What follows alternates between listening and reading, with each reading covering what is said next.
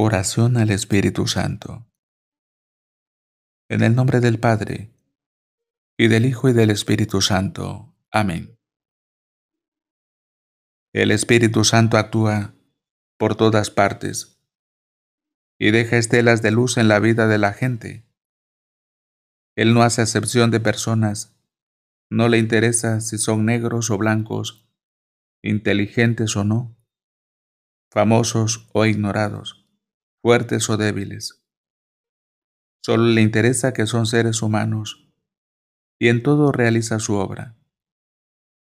Por eso no pensemos que el Espíritu Santo está solamente en algunos seres especiales, en los grandes sabios, en personas que saben expresarse, o que hablan de una forma muy agradable, o en aquellos que han estudiado mucho y saben muchas cosas. El Espíritu Santo actúa en un ama de casa, en un catequista, en un trabajador. Actúa tanto en un misionero como en un monje, tanto en un niño como en un anciano. En todos logra dejar algo bueno y lo hace de miles maneras. Por eso, no podemos encasillarlo y no podemos decir de qué forma actúa. Él actúa como quiere, cuando quiere y donde quiere.